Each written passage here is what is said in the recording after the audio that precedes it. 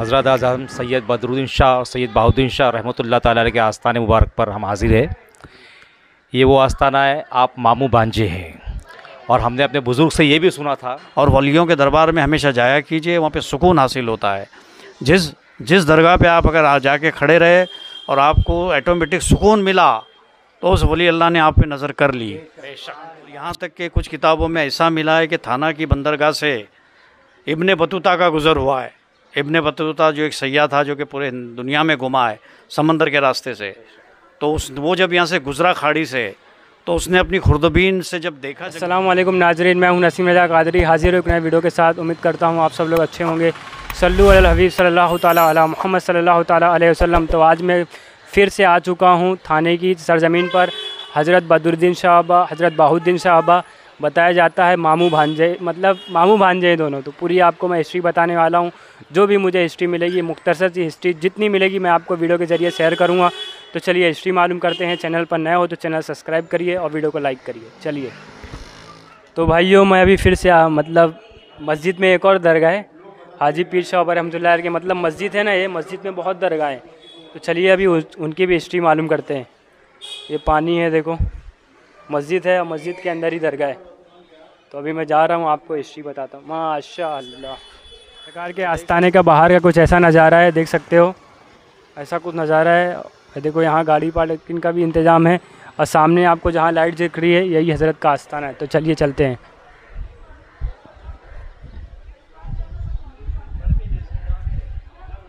माशा तो ये हज़रत का आस्थाना है। माशा माशा ये देखो, ये सरकार का आस्थाना है माशा अल्लाह माशा अल्लाह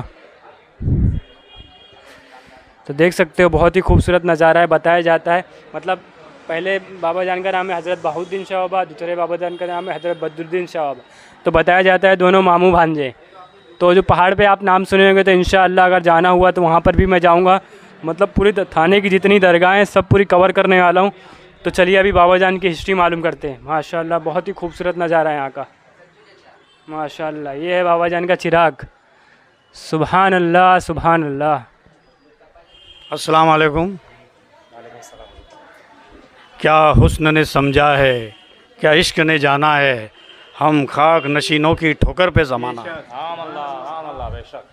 हज़रत इन दोनों मज़ारात पे हम हाजिर है जो कि महागिरी की जामा मस्जिद के करीब है और ये दोनों मामू भांजे कहलाते हैं। इनका नाम बहुत, सैयद बाउद्दीन शाह बाबा, सैयद बदुद्दीन शाह बाबा। इस आस्थाने की भी कुछ हालात है, जो हमारे ये सैयद मुसाद पीर चिश्ती रहमत के ख़िदमत गुज़ार जो दोनों हजरात है, ये बयान करेंगे। और इस इस दरगाह का और वड़ पूर्णिमा के वक्त होता है, क्योंकि ये हमारे कोकन इलाके का जो इलाका है, हिंदू मुस्लिम कल्चर के मुताबिक चलता है। तो वो ज़माने में वड़ पूर्णिमा के वक्त बहुत सारे दरगाहों के उर्स कोकन इलाके में होते हैं। उसी में ये तारीख इनकी रखी जाती है, जो अंग्रेज़ी महीना तो समझो, कुछ भी आता है, और उर्दू उर्दू भी कुछ रहता है, इस्लामी महीना भी कुछ और होता है, लेकिन वड़ पूर्णिमा के वक्त ये इनका उर्स होता है। उसके बारे में मुझे किताब में ऐसा मिला था, हालात, कि वड़ पूर्णिमा के वक्त जो कच्चे केले और कटहल, फनस, जो कि ये थाना खाड़ी के ज़रिए होड़ियों में डाल के, क्योंकि उस ज़माने में घना जंगल था, एक का इंतज़ाम कुछ नहीं था पूरा थाना, घना जंगल कहलाता था। तो उस वक्त वो वड़ पूर्णिमा से पहले वो सब चीज़ें आती थी और बड़े बड़े रांझनों में बड़े बड़े मटके जो मिट्टी के मटके रांझन, उसमें उनको रखा जाता था फनस और ये, और ऊपर उस पर कुछ रख के ऐसी आग जला के उनको तैयार किया जाता था। और वो वो फ़रोख्त होता था। तो इस इस दरगाह के खादिम लोग वो ज़माने में वो लाते थे और वो फ़रोख्त करते थे। वो वड़ पूर्णिमा में खूब बिकता था। उसकी वजह से काफ़ी पैसे आते थे और उन पैसों में इनका उर्स होता था। वो खोत फैमिली कहलाती थी कोकनी खोत फैमिली फैमिली। और यहाँ तक के कुछ किताबों में ऐसा मिला है कि थाना की बंदरगाह से इब्ने बतूता का गुज़र हुआ है। इब्ने बतूता जो एक सयाह था जो कि पूरे दुनिया में घुमा है, समंदर के रास्ते से।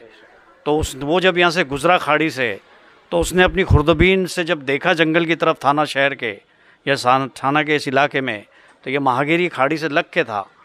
तो उसको अपनी खुर्दबीन में जो चूहे या घूस जो होती है, वो घोड़े ये कम अज़ कम वो कुत्तों कुत्तों के साइज़ की नज़र आए उसको। बस उसने इतना अपनी किताब में लिखा और वो आगे बढ़ गया।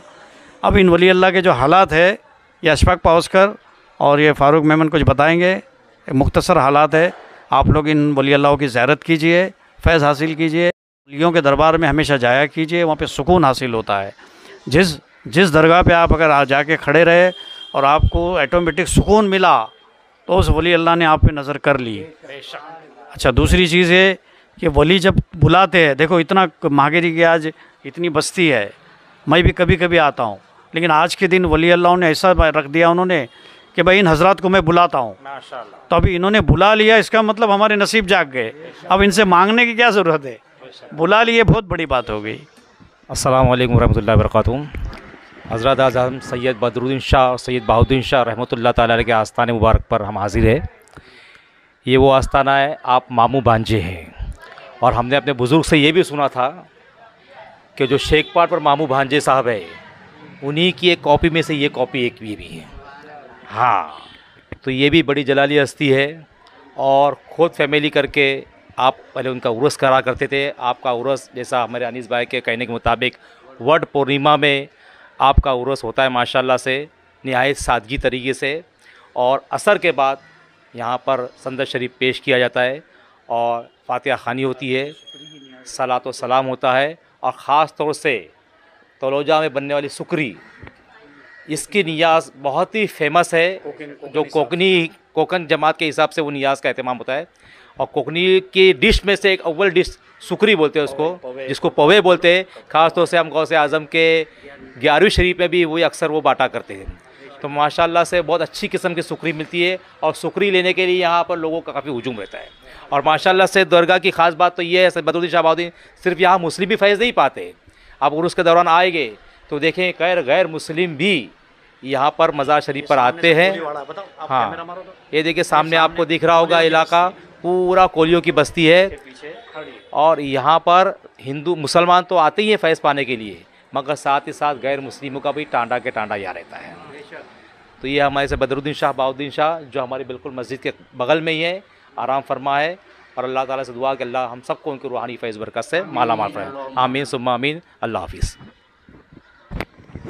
तो अल्हम्दुलिल्लाह भाई लोग मैंने आपको हिस्ट्री बताया हूँ तो अगर आप भाई से पूछ कर मैंने पूरी आपको हिस्ट्री बताया हूँ। जो भी मुझे हिस्ट्री मिली तो अगर आपको वीडियो पसंद आया हो तो लाइक करिए शेयर करिए।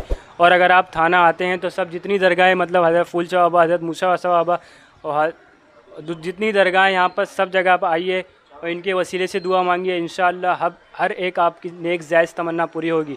तो आपको फिर वीडियो पसंद आया तो लाइक करिए और आपके इधर भी ऐसी कोई दरगाह है तो मुझे इंस्टाग्राम पर मैसेज करिए तो मैं आपके इधर भी आऊँगा और ऐसा खूबसूरत सा वीडियो बनाऊँगा। अस्सलाम वालेकुम रहमतुल्लाहि वरकatuh भाइयों, ये आस्थाना दिख रहा है, हज़रत अब्दुलरहमान रहमतुल्लाह का आस्थाना है।